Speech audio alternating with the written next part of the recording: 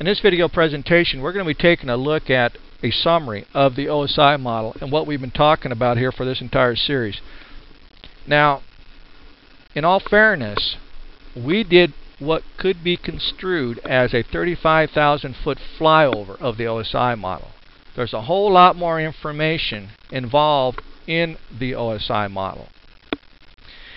And if you're going to be taking any type of Cisco exam, certification, you're going to have to know the OSI model front and back. You're going to have to know it in great detail. And I don't care if it's for the CCNA, the CCNP, or the CCIE exam, or any other Cisco exam. They're going to ask questions about the OSI model, and you're going to have to know it very well. Now let's start off by looking at the top of the OSI model, which is layer 7.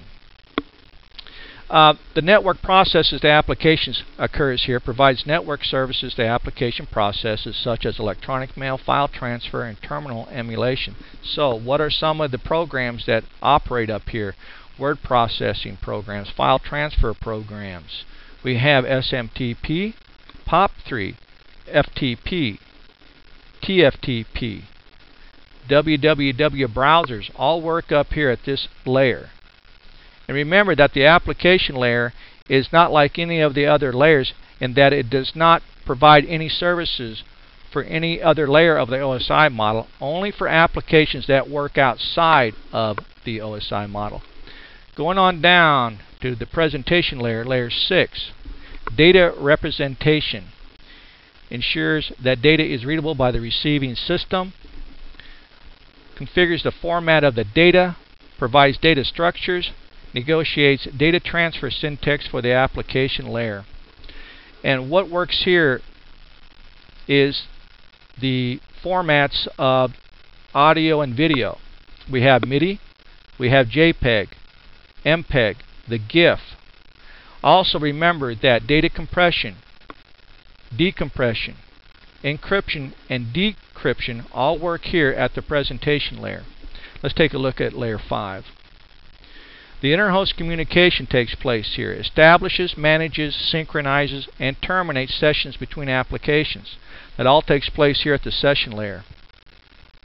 Make sure you know this. Okay. Also know that DNS, NetBIOS, uh, NFS all work here at this particular layer. All right. Going on down to layer 4, the transport layer. This is what allows us to have end-to-end connections, reliable connections, assured connections using TCP. Some of the protocols that reside here are TCP, SPX, and IPX. It also provides data transport reliability, establishes, maintains, and also terminates the virtual circuits. All happens here at the transport layer. Fault detection and recovery, as well as error detection. Information flow control happens here, as does windowing which is provided by the protocol TCP. Let's get on down to the network layer. The address and the best path selection takes place here at the network layer. Provides connectivity with the path selection between two end systems.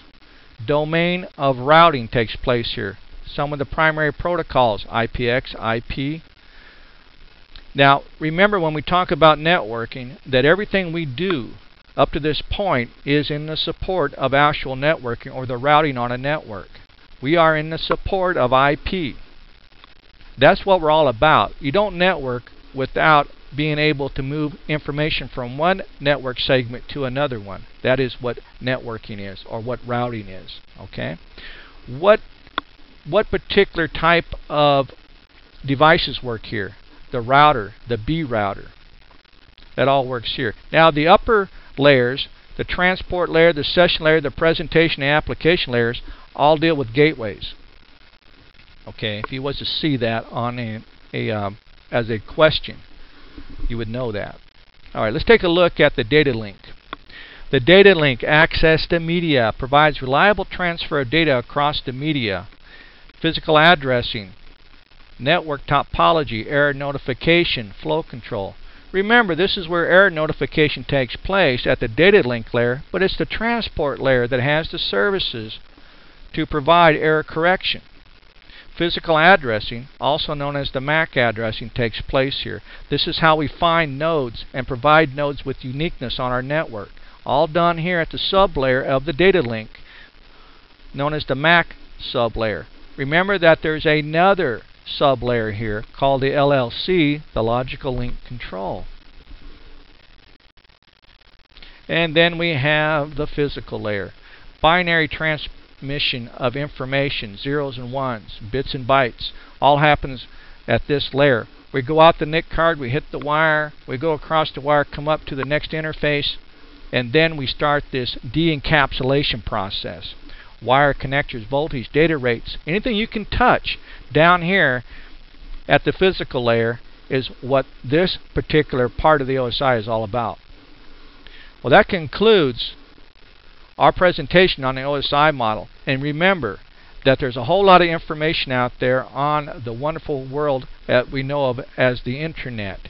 Go on out, open up Google or whatever other search machine you like to use, and just type in the OSI model, and you're going to get more information that you can probably dissect. Okay, but you need to get as much information as you can about the OSI model because Cisco is big on it.